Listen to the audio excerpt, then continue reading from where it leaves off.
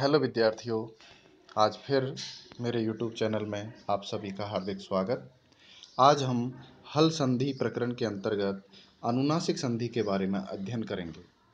आइए देखते हैं अनुनासिक संधि से संबंधित प्रमुख सूत्र। तो प्रथम सूत्र है, यरोनुनासिके अनुनासिको वा। यरह पदांतस्यानुनासिके परे अनुनासिको वा स्यात्। सूत्र का शब्दार्थ जाने तो अनुनासिके अर्थात अनुनासिक परे होने पर। अनुनासिक किसे कहते हैं? मुँह और नासिका से बोले जाने वाला वर्ण। तो यरह, यर के स्थान पर, यर क्या है? प्रत्याहार है। और इसके अंतर्गत समस्त व्यंजन वर्ण आ जाते हैं ह को छोड़ करके। यानी हकार को छोड़ करके समस्त व्यंजन वर्ण आते हैं। वा वा का मतलब है विकल्प से। अनुनासिक, यानी अनुनासिक हो जाता है, आदेश हो जाता है।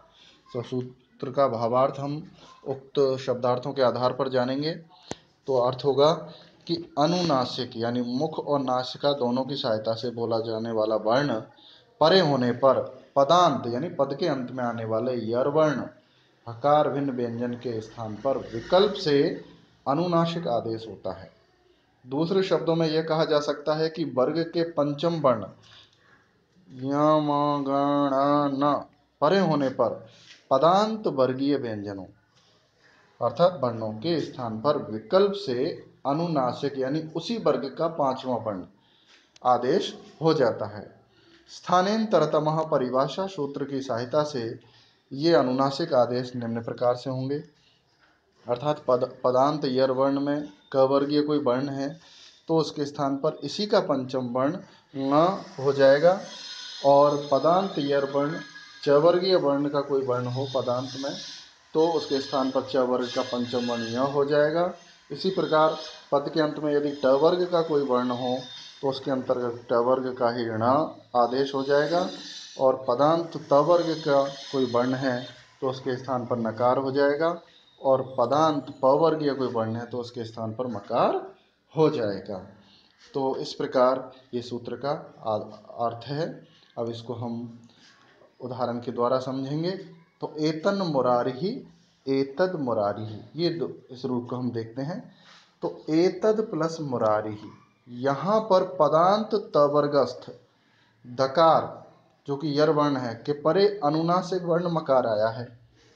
अतः यरोनुनाशकेनुनाशको व, इस सूत्र के द्वारा स्थानांतरतम परिभाषा सूत्र की सहायता से पदांत यर वर्ण दकार को विकल्प से अनुनासिक आदेश, यानी तय वर्ग का ही पंचम वर्ण नकार होकर एतन मुरारी और संयुक्त करने पर एतन मुरारी ही यह रूप सिद्ध होता है। विकल्प के अभाव पक्ष में एतद प्लस मुरारी ही, अर्थात एतद मुरारी यही रूप रहता है। अब इसको स्पष्ट करें हम इस उदाहरण में। कि एष मुरारी इस विग्रह में कर्मधारीय समास हो। एतद प्लस मुरारी रूप बनता है। यहाँ सुपलोप होने पर भी प्रत्यय लोपे प्रत्यय लक्षणम इस परिभाषा सूत्र के द्वारा दकार पदांत हो जाता है। अनुनासिक स्वर और व्यंजन दोनों ही हो सकते हैं, किंतु पदांत यर के पश्चात अनुनासिक स्वर न दिखाई देने से, वह अनुनासिक से केवल व्यंजन अनुनासिकों का ही ग्रहण होता है। व्यंजन अनुनासिक पाँच है। या म गणना म। इसी प्रकार यर प्रत्याहार में यदि वर्गस्थ वर्ण और श श, स, र का ग्रहण होता है। तथापि वर्गस्थ वर्णों को छोड़कर श श, स, र के स्थान पर अनुनासिक के उदाहरण नहीं मिलते हैं। अब अगला अनुनासिक संधि से संबंधित ही जो अगला वार्तिक है वो इसी सूत्र का पूरा सूत्र है वो है, प्रत्यय भाषायाम नित्यम। प्रत्यय भाषायाम नित्यम। वार्तिक अर्थ देखते हैं कि लोक में, अर्थात लौकिक संस्कृत में, अनुनासिक आदि, जिसका पहला वर्ण अनुनासिक हो, ऐसे प्रत्यय के परे होने पर, पदांत यर के स्थान पर विकल्प से, के बजाय नित्य अनुनासिक होता है।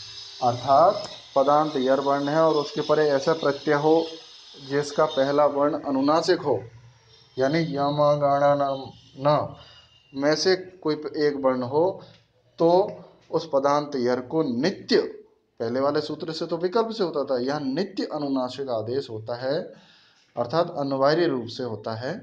तो यह यह स्थानांतरतमा परिभाषा सूत्र की सहायता से ये आदेश निम्न प्रकार होंगे।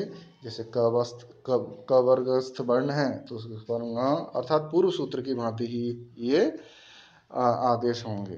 तो वार्तिक को हम निम्न प्रारूप से भी समझ सकते हैं कि पदांत यर है और यर के बाद अनुनासिक आदि प्रत्यय है। तो उस यर को नित्य अनुनासिक आदेश यानी यम गण नाम ऐसे कोई होगा। इसको हम उदाहरणों के द्वारा समझें। जैसे तद प्लस मात्रम। यहाँ पदांत यर वर्ण अर्थात तवर्ग तकार के परे, मकार आदि यानी अनुनासिक आदि प्रत्यय मात्र चाया है। अतः स्थानांतरतम परिभाषा सूत्र की सहायता से प्रत्यय भाषायाम नित्यम।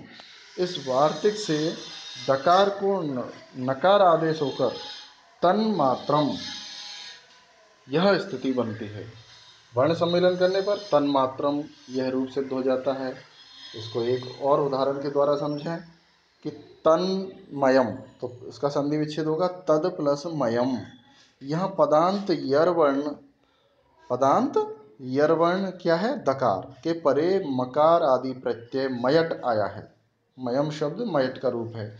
अतः स्थानांतरतम परिभाषा सूत्र की सहायता से प्रत्यय भाषायाम नित्यम इस वार्तिक से दकार को क्या हो जाता है? नकार, आदेश होकर तन्मयम यह रूप सिद्ध होता है। इसी प्रकार चिन्मयम रू हो जाएगा चिद प्लस मयम यहाँ भी दकार का न, नकार आदेश होकर के चिन्मयम यह रूप सिद्ध होता है। अब उक्त सूत्र से संबंधित कुछ विशेष तथ्य हैं कि इस वार्तिक में भाषायाम कहने से तात्पर्य यह है कि यह वार्तिक लौकिक संस्कृत में ही प्रवृत्त होता है वैदिक संस्कृत में नहीं। दूसरा झलाम जशोयंती की दृष्टि में यह सूत्र या अवार्तिक असिद्ध है। अतः जहाँ झलाम जशोयंत का विषय होगा, वहाँ पहले जस्व आदेश होगा और फिर अनुनासिक आदेश होगा। तो आज के लिए हाँ अनुनासिक संधि से संबंधित इतना ही। धन्यवाद।